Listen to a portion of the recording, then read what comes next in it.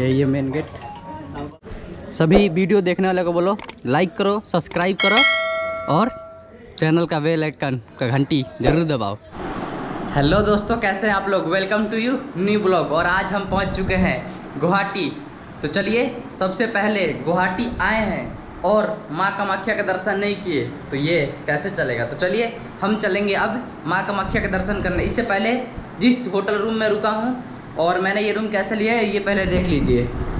ये रहा अपना होटल रूम बेड दिया है, ये, और इतना बड़ा शीशा, एक टेबल दिया है सोफ़ा दिया है कवर्ड दिया है, और इसके अंदर देखिए ये बाथरूम और ये रूम मुझे पड़ा है छः सौ रुपये का, और इस रूम की खास बात ये बताऊँ, इस रूम में travel India with Rishi Rishi भाई भी अपने रुक चुके हैं। तो चलिए बाहर से भी दिखाता हूँ, ऋषि भाई किसमें रुके थे?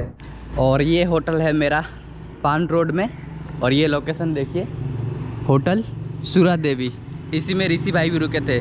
सामने में वो रहा एस बैंक और ये रहा पान रोड का रोड चलिए यहाँ पर बस का वेट करते हैं। रिसेप्शन पे पूछा तो बोला यहीं पे मिलेगा।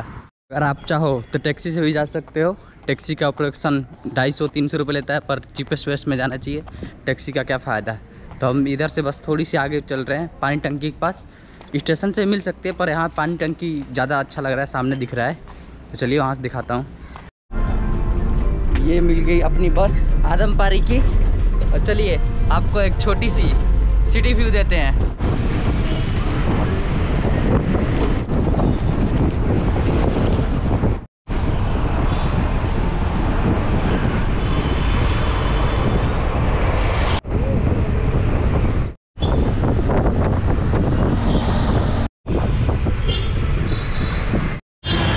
हम पहुँच चुके हैं ये बस उतारी हमें कमाख्या के लिए। और यहाँ से हम दूसरी ऑटो पकड़ेंगे और कामाख्या जाएँगे। गेट। तो हमारी ऑटो खुल चुकी है। और ये व्यू देखने के बाद आपको दार्जिलिंग की याद आ रही है नहीं, ये बताओ बस।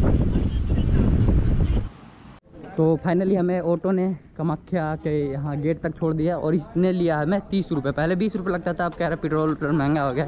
ये भी लॉजिक वाली बात है। चलिए, अब आगे दर्शन कराते हो पीछे में आपको यहाँ से प्रसाद वरसाद की दुकानें मिल जाएँगी और यहाँ पे अपने चप्पल भी खोल सकते हैं। चलिए, मैं देखता हूँ कहाँ खोलता हूँ, कहाँ से प्रसाद लेता हूँ। ये रहा एंट्री गेट चलते रहेंगे।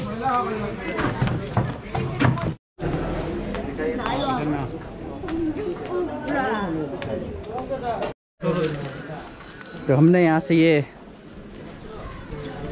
प्रसाद ले लिया और जो हमें पड़ा ये चालीस रुपए का।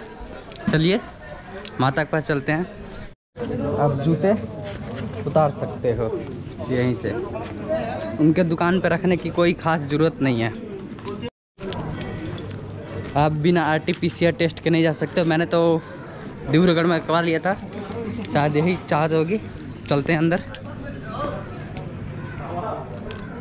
राजू भैया तू आता रहता है वो तू आता ही रहता है। ये सैनिटाइजर।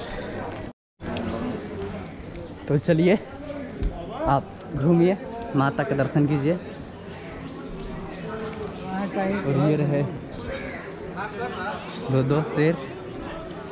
यहाँ पे भी फ़ोटो भी लेंगे इंस्टा पे भी डालूँगा। और इंस्टा पे नहीं हो तो फॉलो करो यार। आज एक और ख़ास बात है सावन की सुमारी है।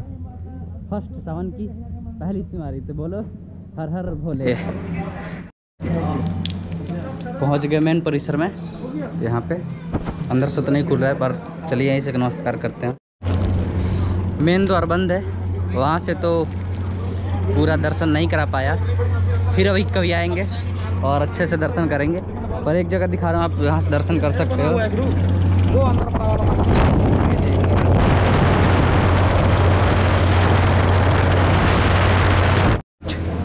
यहाँ से आप दीपक जला सकते हैं।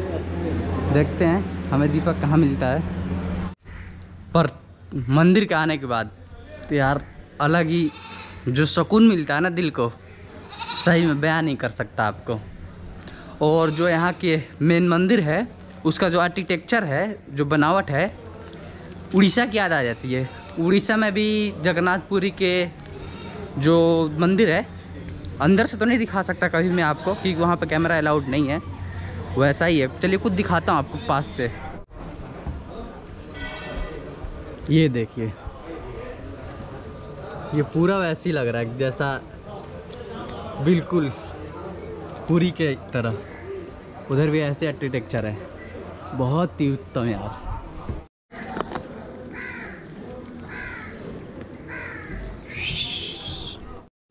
सभी वीडियो देखने वाले को बोलो लाइक करो सब्सक्राइब करो और चैनल का बेल आइकन का घंटी ज़रूर दबाओ। तो चलिए, मिलते हैं ओके बाय जाने से पहले फाइनल व्यू देख लीजिए। बहुत ही मज़ा आ रहा है यार, क्या बताऊँ आपको। संतुष्टि मिल रहा है आत्मा को, बिल्कुल।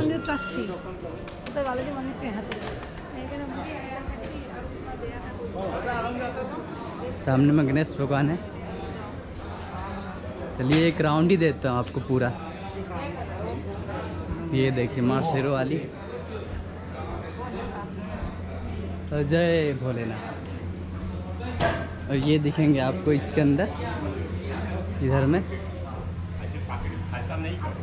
दिया जलाइए इधर से। बस एक ही बात को दुख है कि अंदर नहीं जा सका यार। अंदर जाता तो पूरे दर्शन हो गए होते।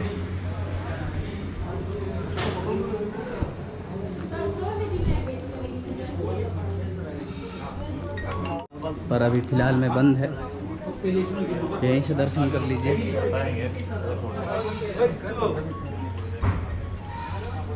और आपको गुप्त रूप से दिखाया हूँ, दर्शन कराया हूँ। कहाँ पे ये बहुत अंदर है, गहरा में है, पर अभी तो फ़िलहाल में कुछ नहीं हो सकता। इस साइड का व्यू देखिए। तो चलिए, चलते हैं। बाकी सारी इन्फॉर्मेशन कहाँ से आना है, कैसे नहीं आना है, आपको बता ही दिया। चलिए पहले एक बार घंटा बजाते हैं।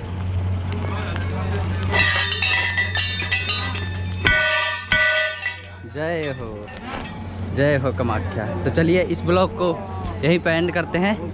जय हिंद, जय कमाख्या।